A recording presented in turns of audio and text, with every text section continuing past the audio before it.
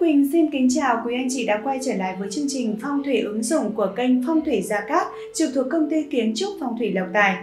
Quý vị thân mến, năm 2020 của tuổi Ất Tỵ 1965 dự báo tình trạng sức khỏe không tốt, áp lực từ công việc có thể dẫn đến chất lượng giấc ngủ thấp và sự chậm chạp trong các hoạt động.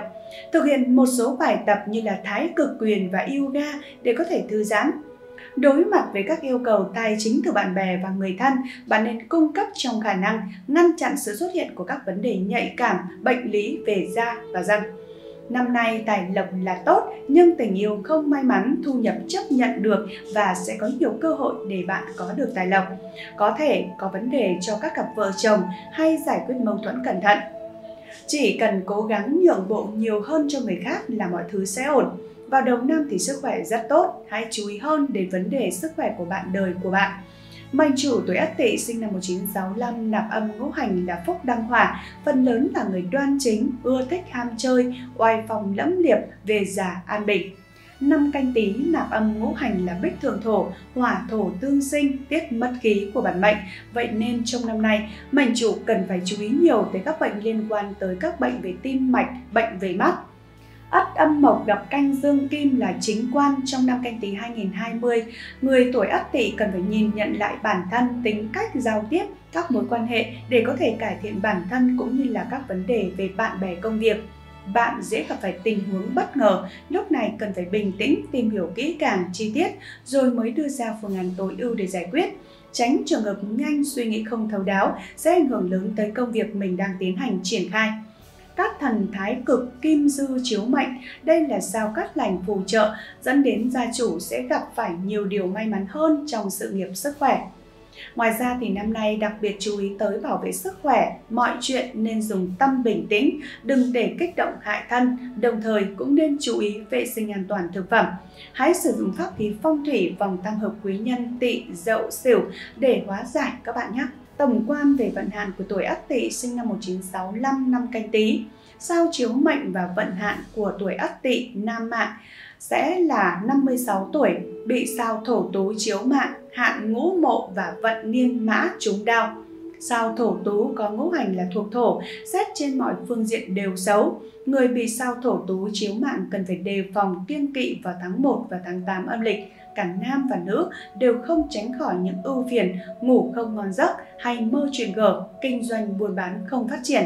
Ngoài ra, cần phải hết sức đề phòng những kẻ tiểu nhân ám hại, gia đạo có nhiều điều buồn phiền, bất an. Người có hạn ngũ mộ sẽ luôn gặp phải vấn đề về tiền bạc, nói chính xác hơn đó là sẽ bị mất mát về tiền của. Trong đó nặng nhất, rõ ràng nhất đó là việc mua bán hàng hóa, đồ đạc dễ mua phải đồ không chất lượng, không tốt và nếu khi mua bán không có giấy tờ hóa đơn rõ ràng có thể bị hỏng không được bảo hành bị mất do trộm cắp hoặc là bị chính quyền tịch thu bởi đây là hàng không rõ nguồn gốc việc cho người khác ngủ nhờ cũng sẽ gây nên hao tiền tốn của bởi có thể sẽ gặp phải người gian trộm cắp dẫn tới thiệt hại về tài chính của mình. Sao chiếu mệnh và vận hạn năm 2020 của tuổi Ất Tỵ, sinh năm 1965 nữ mạng, 56 tuổi, bị sao vân hớn chiếu mạng, hạn ngũ mộ và vận niên mã trúng đau. Sao vân hớn chiếu mạng thì đàn ông hay là đàn bà gặp sau này thì làm ăn mọi việc đều trung bình, khẩu thiệt, phòng thương tật ốm đau, nóng nảy mồm miệng. Nam gặp phải tai tinh, bị kiện, thưa bất lợi, nữ thì không tốt về thai sản, nhất là vào tháng 4, tháng 8 âm lịch. Do vậy, người bị sao vân hớn chiếu mạnh cần phải cẩn thận trong lời nói nhằm tránh đi sự tranh chấp bất lợi dẫn đến những kiện tụng cò bóc người có hạn ngũ mộ sẽ luôn gặp phải vấn đề về tiền bạc, nói chính xác hơn đó là sẽ bị mất mát về tiền của. Trong đó nặng nhất, rõ ràng nhất đó là việc mua bán hàng hóa, đồ đạc, dễ mua phải đồ không tốt. Về phương án kích hoạt cung tài lộc cho các gia chủ tuổi Ất Tỵ sinh năm 1965, phương án tứ nhất đó là tuyển chọn nhân sự cho cửa hàng, công ty. Tuổi theo thiên can hóa ngũ phúc, ất hợp với canh hóa kim vào những tháng dần mão tỵ thân dậu sửu tức là các tháng 1, 2, 4, 7, 8, 12 âm lịch. Vậy nên nếu như mảnh chủ muốn hợp tác hoặc là tuyển dụng những nhân sự có nạp giáp thiên can là canh có thể tiến hành vào những tháng này. Một số mệnh chủ tuổi canh như canh thân 1980, canh ngọ 1990, canh tuất 1970, canh tý 1960. Tuổi theo tam hợp hóa ngũ phúc tỵ, dậu, sửu hóa kim vào các tháng tỵ, ngọ, mùi, tý, sửu, tức là các tháng tháng 4, tháng 4 nhuận, tháng 5, 10, 11 âm lịch. Nếu mệnh chủ có thể tiến hành hợp tác làm ăn với tuổi trong bộ tam hợp này thì cần phải chú ý những tháng trên. Nếu có thể tiến hành những tháng này thì rất hanh thông thuận lợi, may mắn. Và một số điều cần phải chú ý khi mà chọn tuổi trong bộ tam hợp đó là kết hợp với các mệnh chủ tuổi sửu sẽ chọn ngày hoặc giờ là dậu và ngược lại nếu mệnh chủ tiến hành kết hợp làm ăn với những mệnh chủ tuổi dậu thì sẽ chọn ngày giờ là sửu. Tuổi thiên lộc Thiên lộc mang lại tài lộc may mắn về mặt tài chính, sự nghiệp và công danh. Vị trí tốt cho tuổi tài lộc có thể là đối tác, nhân viên lễ tân, nhân viên bảo vệ vợ con. Thiên lộc của Ất Tỵ sinh năm 1965 sẽ là Mão, bao gồm các tuổi theo thứ tự ưu tiên như sau: Tân Mão 1951 hoặc là sinh năm 2011, Đinh Mão 1987, Quý Mão 1963, Ất Mão 1975, Kỷ Mão 1999. Tuổi Dương Quý Nhân là người hỗ trợ giúp đỡ mình biểu hiện ra bên ngoài, ứng với vị trí của nhân viên kinh doanh, người hỗ trợ kinh doanh, chồng con. Dương quý nhân của Ất Tỵ sinh năm 1965 sẽ là Tý bao gồm các tuổi theo thứ tự ưu tiên. Mậu Tý sinh năm 2008, Nhâm Tý 1972, Giáp Tý 1984, Bính Tý 1996, Canh Tý 1960. Tuổi âm quý nhân đó là người hỗ trợ giúp đỡ phần tiềm ẩn, ứng với vị trí nhân viên kế toán, thủ kho, thủ quỹ.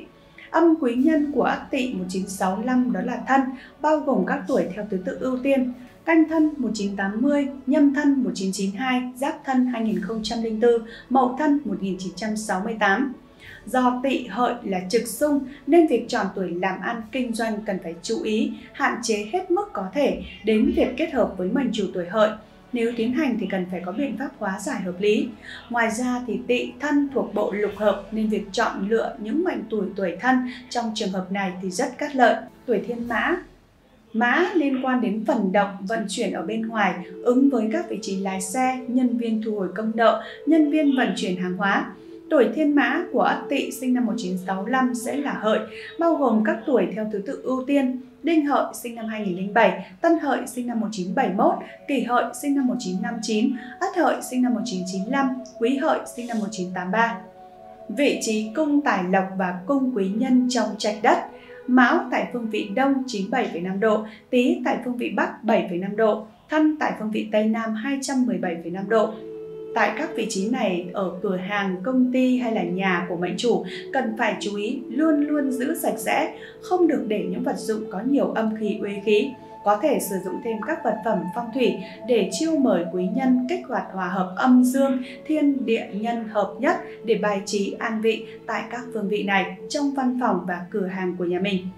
Phương án tiếp theo đó là chọn hướng nhà, văn phòng, cửa hàng Yếu tố đầu tiên trong việc chọn hướng nhà, văn phòng, cửa hàng, khai sơn lập hướng mới cần phải xét đến tuổi của trạch chủ, có phạm kim lâu, hoang ốc, tam tai và có hợp với trạch đất của nhà mình hay không.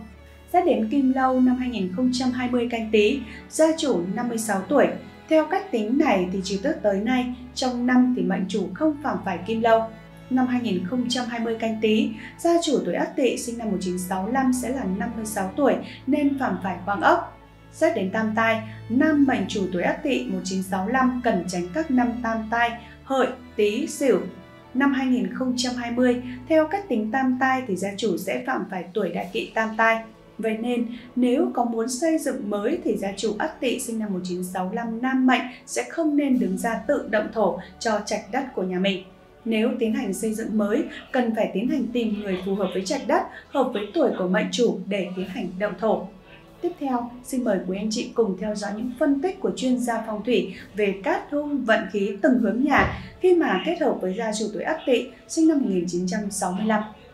Với nam mạng Ất Tỵ sinh năm 1965 sẽ thuộc cung Càn Kim, xét theo cung mệnh thuộc Tây Tứ mệnh, vì vậy sẽ hợp với bốn hướng tốt đó là Đông Bắc Phục Vị, Tây Bắc Thiên Y, Tây Diên Niên, Tây Nam Sinh Khí. Ngoài ra sẽ cần phải tránh bốn hướng xấu của Đông Tứ Trạch đó là Nam Họa Hại, Đông Lục Giác, Bắc Ngũ Quỷ, Đông Nam Tuyệt Mệnh. Đối với nữ mạng tuổi Ất Tỵ sinh năm 1965 cung Đoài Kim, xét theo cung mệnh thuộc Tây Tứ mệnh, vì vậy sẽ hợp với bốn hướng tốt đó là Tây Phủ Vị, Tây Nam Thiên Y, hướng Đông Bắc diên niên, Tây Bắc sinh khí. Ngoài ra sẽ cần phải tránh bốn hướng xấu thuộc Đông Tứ Mệnh là Bắc, Hỏa Hại, Đông Tuyệt Mệnh, Đông Nam Lục Sát, Nam Ngũ Quỷ xây nhà ở hoặc là kinh doanh trên những căn nhà phạm vào họa hại là sao lộc tồn thuộc thổ, hướng Tây Nam tượng quái là khôn, phạm vào thì bị quan vi, khẩu thiệt, hao tài tán lộc, bệnh tật, gặp phải tai nạn bất ngờ, dẫn tới tổn thương lớn, cơ thể suy yếu, dễ nản trí, cô độc nghèo khổ nên xấu vô cùng. Xây nhà ở hoặc là kinh doanh trong căn nhà không hợp hướng bị phạm vào ngũ quỷ mà ngũ quỷ là sao liêm trinh thuộc hỏa tượng quái là ly chủ vì nóng nảy, nhiều tai họa bất ngờ, tranh chấp kiện tụng, con cái khó dạy bị hỏa hoạn, bệnh tật khẩu thiệt, hao mòn ruộng vườn, gia súc, tán tài, tán lập, tổn hại nhân đinh hơn nữa, nếu cố tình bất chấp xây dựng sẽ cực kỳ nguy hại cho bản thân.